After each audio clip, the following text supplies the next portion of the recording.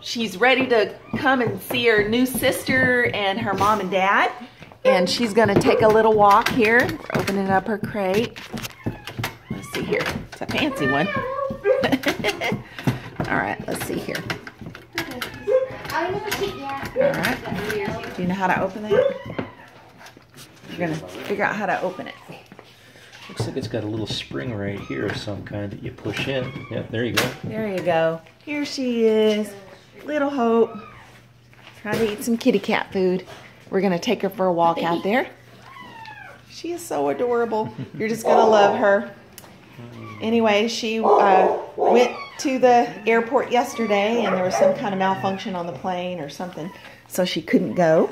So she's gonna get a little walk today, right outside. Gentle, sweet little Hope. This is Hope from Lytle Animal Care and Control. And she's getting ready to be a Vashon Washington dog. And she's going to join one of the other Lytle dogs too. Um, she's adorable and you're going to love her. She's the sweetest, sweetest little thing. This is Hope Lytle Animal, Animal Care and Control.